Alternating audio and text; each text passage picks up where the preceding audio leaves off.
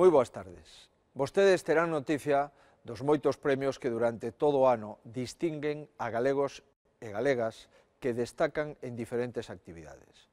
Asociacións de todo tipo, organismos privados, medios de comunicación e administracións públicas louvamos o mellor da nosa sociedade. Non hai sector que non estea representado no elenco de premiados, Entre eles mostranse, ademais, unha alentadora combinación entre o traballo innovador que dá os seus primeiros pasos e aquel outro que leva detrás unha longa andaina. A imaxe que ofrecen estes galardós é a dunha Galicia en marcha, que coñece e recoñece os seus principais exponentes. Produce unha fonda satisfacción que a nosa terra conte cunha canteira sólida de mulleres e homes notables e resulta alentador que ese talento sexa admirado. Somos un pobo rico en capital humano e sentímonos orgullosos diso. Compre destacalo e subliñar tamén que esa aparición de persoeiros dignos de ser recoñecidos non cesou nos momentos máis duros das turbulencias económicas. Nos trances máis aciagos, Galicia non parou de esforzarse, de investigar, de estudar, de emprender. Galicia atravesou unha crise pero o noso xeito de ser e de facer nunca estuvo en crise.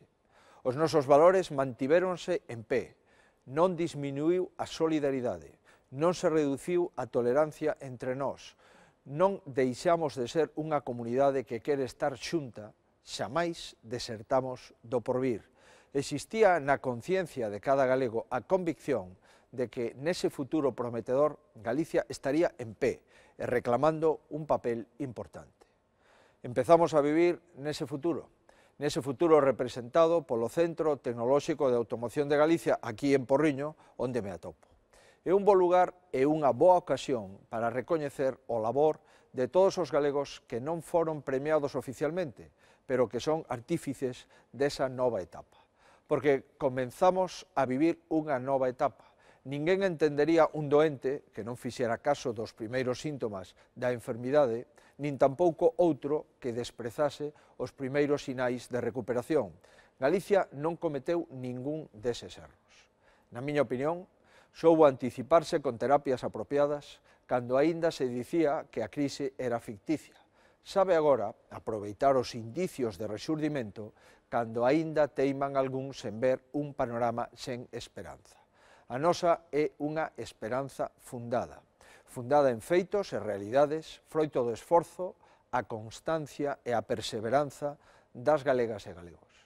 Así, a Galicia que estaba nunha nación que arrastraba un problema de déficit e agora a Galicia que durante seis anos controlou as súas contas nunha España que por fin repeleu o rescate.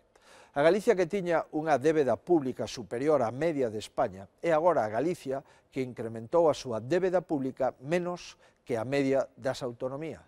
A Galicia que decrecía economicamente e agora unha Galicia que aspira a crecer un 2% o próximo ano. E a Galicia que destruía emprego é agora unha Galicia que está empezando a crear emprego. Non é dabondo para levar a tranquilidade a tantos fogares con problemas, pero é un limiar necesario. Sen dúbida, debemos ter presentes tantas familias que aínda padecen as consecuencias da crise especialmente as que sofren o paro, pero tamén convén ter presente que o que hoxe aínda nos parece insuficiente non hai tanto tempo que nos parecía inalcanzable. Así, no mesmo xeito que non debemos esquecer que aínda permanecen dificultades, temos que valorar o moito xa cadado entre todos, porque é a mostra de que Galicia é quen de seguir acadando o que se propón. Galicia pode sentirse orgullosa como povo eh, a este recoñecemento únese a valoración que tamén fan de nós desde fora. Cada vez se achegan máis visitantes a coñecernos e este ano batemos o récord de viaxeiros internacionais coas mellores cifras de turismo, a excepción do Xacobeo 2010. Valórase a calidade coa que se identifican os nosos produtos e o traballo que hai detrás deles. E este ano 2014 mantemos os niveis da mellor marca de exportacións e balanza comercial que conseguimos en 2013. Crece na nosa capacidade, valóranos e vennos como un pobo que cumpre coas expectativas e ben dotado para a innovación, un lugar axeitado para desenvolver proxectos. Quedan obxectivos por alcanzar, pero anos despois, os nosos esteleiros están volvendo á carga de traballo, E no ámbito da automoción, no que este centro é unha referencia internacional en tecnoloxía, logramos a mellor noticia posible para as 19.000 familias que dependen del. Os anuncios recentes de contratos e investimentos nestes sectores non só unha casualidade, ningún regalo. Competíamos cos mellores do mundo e gañamos. É un triunfo colectivo non que interveñen tanto a destreza profesional dos traballadores como a nosa estabilidade social e institucional. Estabilidade social non é sinónimo de conformismo.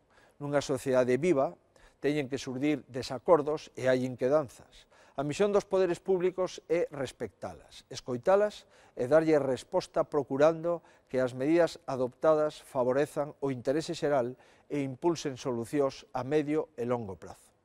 Mentras a demagoxia cai no simplismo e trata o povo como menor de idade, a misión do gobernante democrático é dicir a verdade, con toda a súa complexidade a unha cidadanía adulta. Estabilidade institucional non é parálise. Ao longo destes anos, os galegos definiron un modelo que non ten outra inspiración que a súa maneira de ser. Como vimos dicindo dende hai tempo, ser galegos non é algo excluinte, senón incluinte. Non supón levantar muros, senón tender pontes. Formar parte de realidades máis amplas enriquecenos, amplía os nosos horizontes e axúdanos a comprobar a nosa importancia.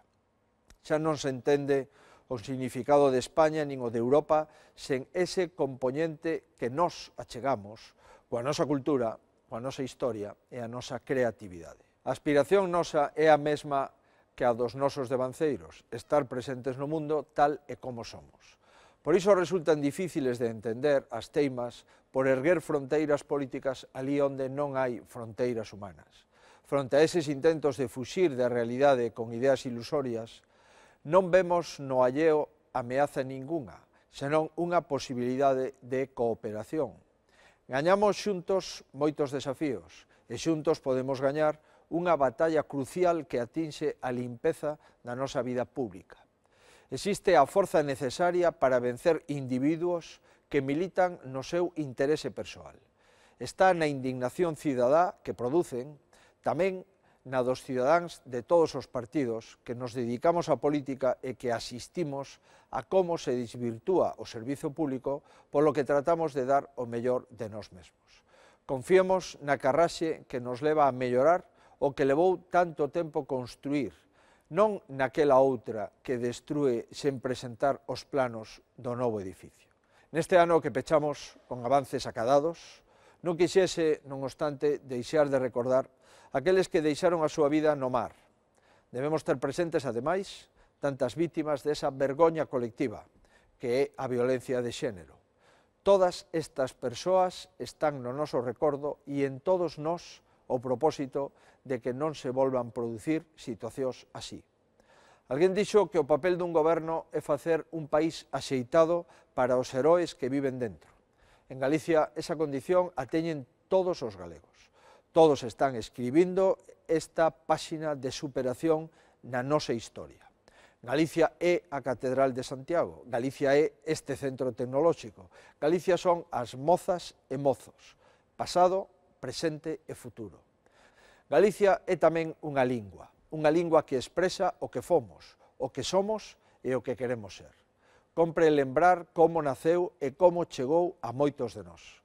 Para moitas xeracións de galegos, o idioma está asociado a un pai, a unha nai, a un avó, a un mestre que lles ensinou a querelo.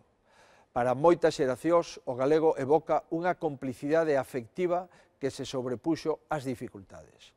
É posible recuperar ese clima? Todos sabemos que sí. Todos sabemos que o galego nos enriquece e mesmo nos facilita estar no mundo con boas ferramentas expresivas. Falolles coa nosa lingua, nun recinto innovador e punteiro onde galegas e galegos traballan con tecnoloxía de futuro. Son a imaxe dunha Galicia que nunca se resigna, dunha Galicia que escribe o seu destino. Seguiremoslo facendo neste 2015.